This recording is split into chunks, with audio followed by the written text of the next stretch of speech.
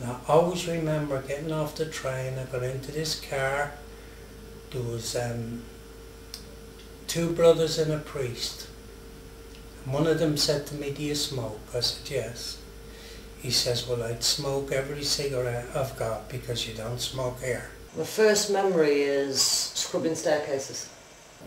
In the yard we used to play football, Gaelic and, you know, things that I, I thought it was a real lads thing. You know, it was, it was great. It wasn't to last long. My main memory of it is the coldness. Everything was always cold.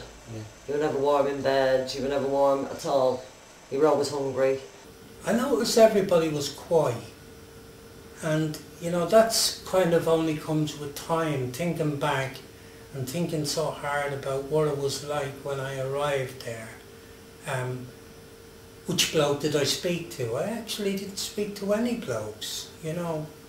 So I remember they brought me up to the dormitory and that frightened the life out of me. It frightened the life out of me because all the beds was covered in these blue sheets.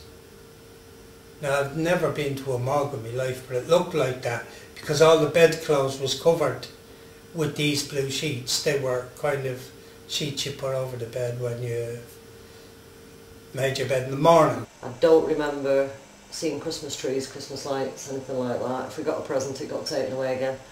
Your clothes never fit you, your shoes never fit you, they were overgrown, over big. Basically, really, we were like unpaid skivvies. But the sexual abuse started almost immediately. We used to get a small amount of liquid a day, say about a cup about that big, with water in. A lot of us actually drank water out the toilets. Very unhygienic, I know, but needs must. A lot of the kids eat grass. A lot pinch crab apples. I used to eat honeysuckle plants, I think they're called, like a weed, Yeah. um, to actually stop the hunger pangs. Um, and yet, at the same time, from the nuns' quarters, you could smell this lovely aroma of food coming. Yeah. You know, potatoes with yuck in them. It, it literally was slops. I wouldn't feed it to a pig, to be quite honest with you. But in all the time I was there, I never seen anybody in authority, anybody come and say, how are you getting on? How's the food? The food was absolute shit. I never in my life heard of a black pudding stew till I went to Cork. And we actually got stew and sometimes the potatoes, most times, all the potatoes wouldn't be peeled. Some of them were bad and it stunk. And it'll probably surprise you. I loved holy days. I know you probably think I'm an atheist. I'm not. I loved holy days because on holy days it was a different ball game.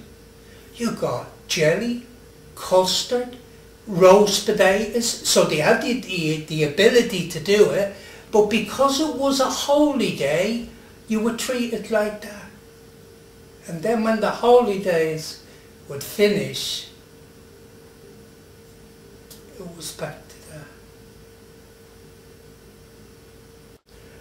I think you're the first bloke I spoke to. And you're younger than my son. and I haven't broke down. There's times when I feel like it. Because some of the memories are fucking horrible.